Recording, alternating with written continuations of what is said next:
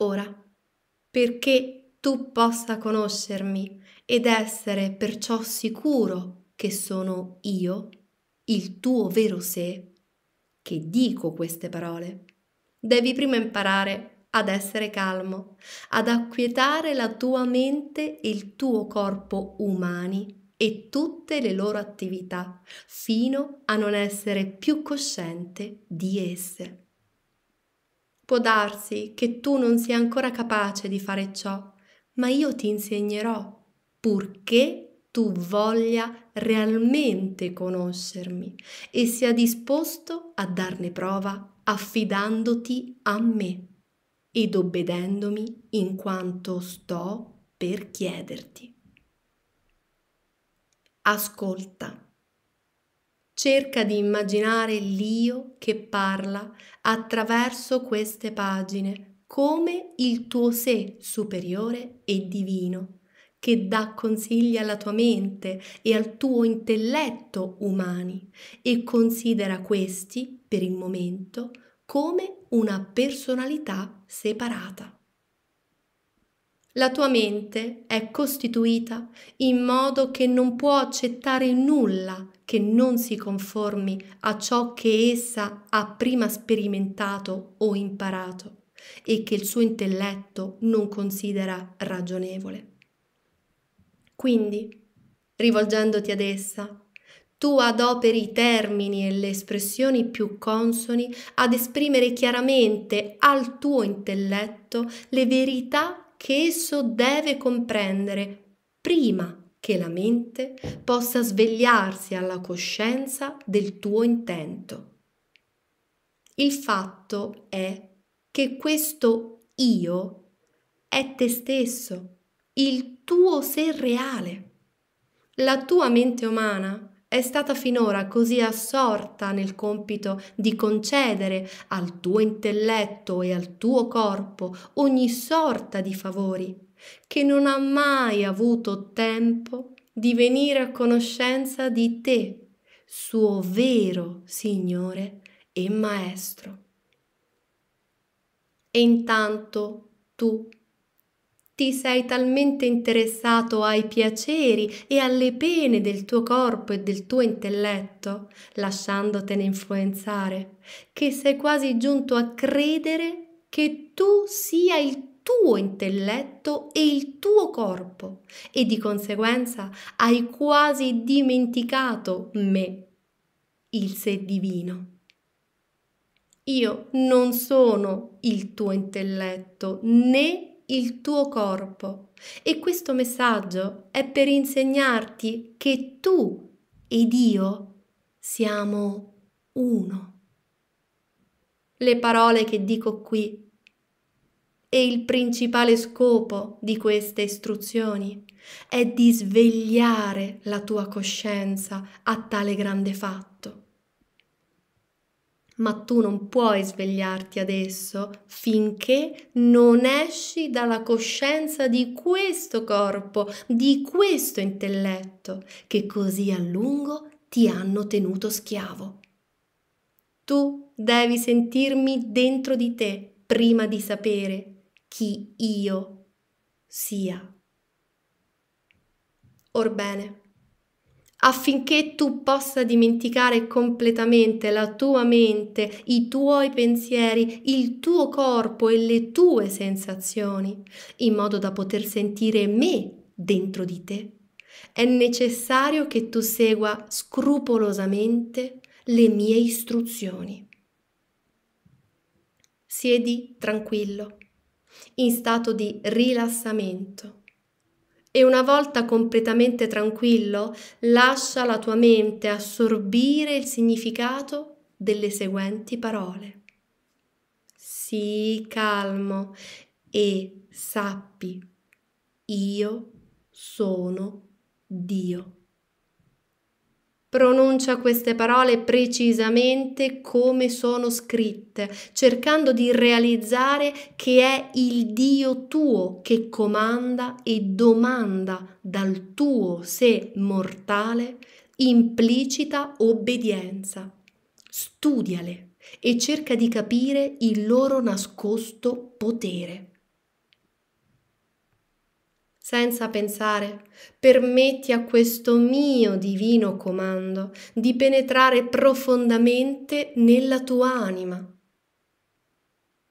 Lascia allora ogni altra impressione che venga alla tua mente entrare a suo piacere, senza sforzo o interferenza da parte tua, ma notane attentamente il senso, poiché sono io dall'interno che ti istruisco per mezzo di tali impressioni. Poi, quando il loro significato incomincia ad apparire alla tua coscienza, pronuncia queste mie parole lentamente, imperativamente, rivolgendole ad ogni cellula del tuo corpo, ad ogni facoltà della tua mente, con tutta la forza cosciente che possiedi. Sii calmo e sappi, io sono Dio. Medita profondamente queste parole e portale con te nel tuo lavoro, qualunque esso sia. Fa di esse il fattore vitale dominante del tuo lavoro e di tutti i tuoi pensieri creativi pronunciale mille volte al giorno finché non ne abbia penetrato e scoperto tutto il più intimo significato, finché ogni cellula del tuo corpo non frema in lieta risposta al comando sii calmo e obbedisci istantaneamente. Ed ogni pensiero errante che fluttui intorno alla tua mente svanisca subito, nel nulla quando le mie parole risuoneranno attraverso la caverna del tuo essere divenuto vuoto, quando il sole della conoscenza comincerà a sorgere sull'orizzonte della tua coscienza, allora tu sentirai espandersi dentro di te l'impeto l'impeto di uno strano, meraviglioso respiro che riempirà fino all'estremo tutte le tue membra mortali, facendo quasi esplodere i tuoi sensi con la sua estasi. Allora sentirai a fiotti levarsi in te una possente, irresistibile forza che ti innalzerà quasi sulla terra allora sentirai dentro di te la gloria, la santità, la maestà della mia presenza. E allora, allora tu saprai io sono Dio. Quando tu mi avrai sentito così, in quei momenti dentro di te, quando avrai gustato il mio potere, ascoltato la mia sapienza e conosciuto l'estasi del mio amore che tutto abbraccia, non potrai più essere toccato da alcuna malattia, né indebolito da alcuna circostanza, né soggiogato da alcun nemico poiché tu saprai allora che io sono dentro di te e da allora in poi ti rivolgerai a me in ogni tua necessità, mettendo tutta la tua confidenza in me, permettendomi di esprimere la mia volontà. E quando ti rivolgerai a me, troverai sempre in me nell'ora del bisogno, un aiuto pronto ed infallibile, poiché io ti riempirò talmente con la realizzazione della mia presenza e del mio potere che ti basterà essere calmo e permettere a me di fare qualunque cosa tu voglia, risanare i tuoi mali o quelli degli altri illuminare la tua mente in modo che tu possa vedere con i miei occhi la verità che cerchi o compiere alla perfezione ciò che prima ti sembrava quasi impossibile. Ma questa conoscenza, questa realizzazione non avverrà ad un tratto. Potrà non venire per anni, potrà venire domani Ciò dipende solo da te, non dalla tua personalità, con i suoi desideri umani e la sua umana comprensione, ma dal tuo io sono Dio entro di te. Che cos'è che dal bocciolo fa sbocciare il fiore? Cos'è che fa rompere il guscio al pulcino? Chi stabilisce il giorno e l'ora? È l'atto cosciente, è l'atto naturale dell'intelligenza interna, della mia intelligenza, diretta dal mio volere, quello che porta a maturazione la mia idea e la esprime nel fiore e nel pulcino. Il fiore ed il pulcino hanno qualcosa a che fare in tutto ciò? No. Essi si sottomettono soltanto, uniscono la loro volontà alla mia e permettono a me e alla mia sapienza di stabilire l'ora nella quale maturerà l'azione. Solo quando essi hanno obbedito all'impulso della mia volontà ed hanno fatto lo sforzo che Dio imponevo loro di fare, hanno potuto passare alla nuova vita.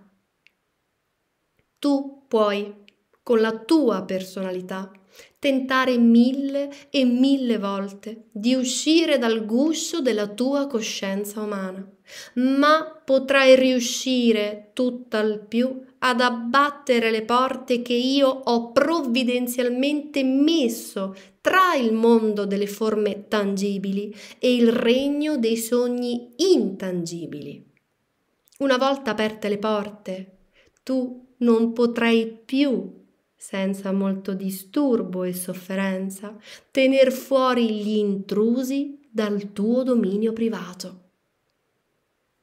Ma anche questo io permetto talvolta, perché attraverso tale sofferenza tu possa acquistare la forza di cui manchi e la saggezza necessaria a capire che soltanto deponendo ogni desiderio di sapienza, di bontà e perfino di unione con me, a beneficio del tuo sé, tu puoi schiudere i tuoi petali manifestando la mia perfetta bellezza e gettar via il guscio della tua personalità umana passando alla luce radiosa del mio regno celeste.